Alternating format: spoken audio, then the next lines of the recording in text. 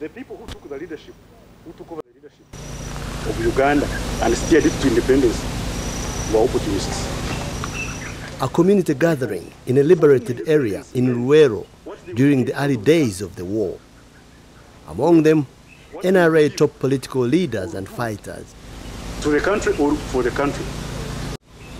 The nationalists were thrown out. And to a certain extent, these, some of these cliques were supported by the colonial power. Gatherings such as this were the genesis of the popular participatory grassroots democracy that gradually metamorphosed into the resistance councils. The democratic administrative structures that were expanded and introduced across the country after NRA took power. And when we came out with the 10 point program, point number one, we said the, the best, the, the first solution to, any, to the country is to accept democracy, rule of the majority, and to hand power back to the population. we came and restructured the administration of Uganda. Restructured it in the sense we established all these uh, councils. From, uh, fro- we, we put in uh, enabling laws to, to run council, resist council one, council two, council three, um, the district council, uh, then the national, the national council, the NRC we put in enabling clauses. We, we changed the, the laws, the negative laws that Idi Amin had put in place and uh, um, amended all those laws. As per the 10 point program, in 1988, the first Resistance Council elections were held. It was a countrywide exercise that was embraced with a lot of enthusiasm, with voters freely lining up behind their candidates of choice without fear. Ours was a lining job. We didn't have ballot papers and, and ballot boxes. I think the first ones were in uh, 89 or before. Others, others were open. 88. They were open, lined up. You run up behind your candidate. People thought that was a kind of rigging, some people who believe in Western democracy. No. But the, most people thought that that was the best election they ever had. Because the people were going behind somebody they, they believed in. Well, they say that someone would plan around. Somebody was saying that they are not secret.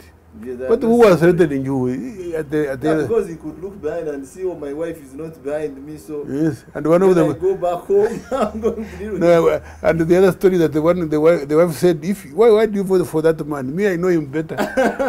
if I can't vote him, why do you have to ride behind him? But some people liked it because it was cheap. It was direct.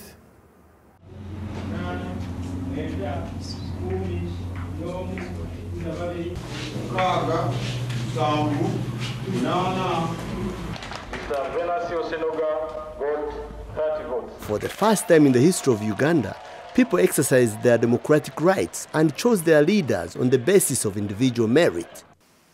So we handed back to the population. Each and every place, everybody participated, became a member of parliament to decide matters with the LC system. They used to sit, and even those people who are who contend to one position of leadership, they talk to this group, they present themselves. After that, then these people deliberate and they decide. So the people had actually seen real democracy. And even ourselves, who would have said, by the way, I'm historical, I'm the one who started, I should not be elected. We subjected ourselves. Said, in deciding the future, I might have died. So please, this time decide. We, all our work is, we fought and brought the thing to you. So all of us were part and a parcel of that process.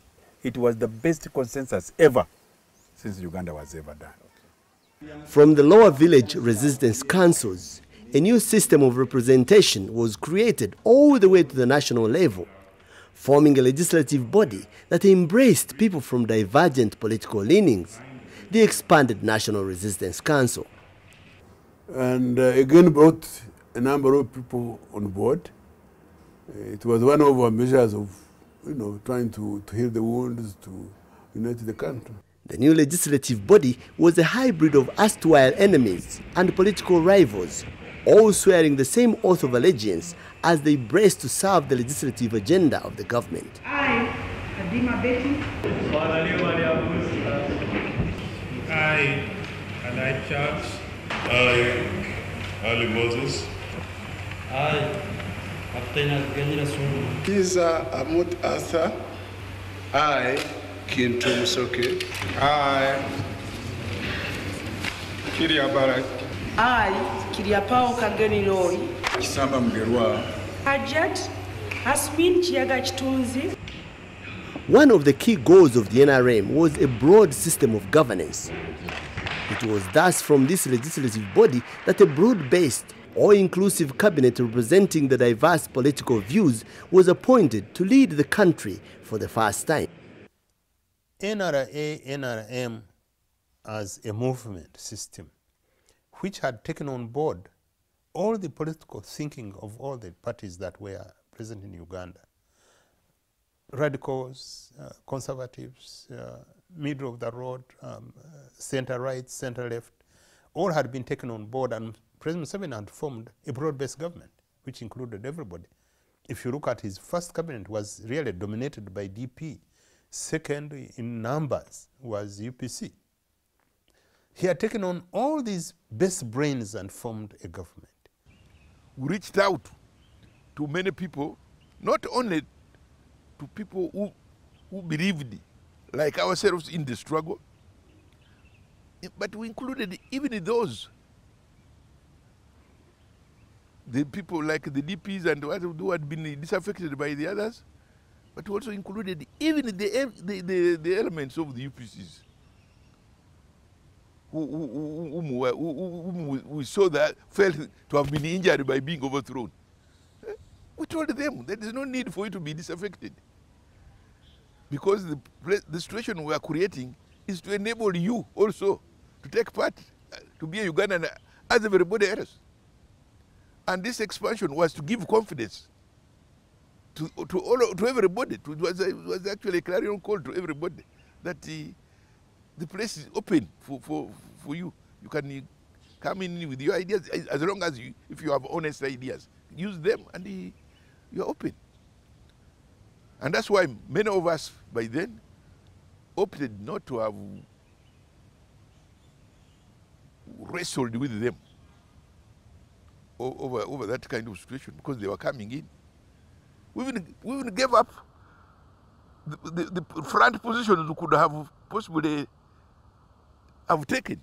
There are front positions we could, we could have thought we were entitled to. We gave those up and said, no, for the sake of the unity of the country. And, and these others, look, look, look at the unity of the country only in terms of positions. with us, we are not looking at it that way. yeah. But with them, they're looking at it in terms of positions. Give them. Give them positions. Let us be without positions. If, if that can unite the country, that was a good sacrifice. Now, the, the only issue was that once they have come into that, then they should, we should bring them into the fold so that gradually, step by step, they begin to imbibe the commonest ideas we have for the country. With the expanded NRC in place, the NRA had taken a big stride towards restoring power to the people, a key ingredient towards bringing about the country's political stability.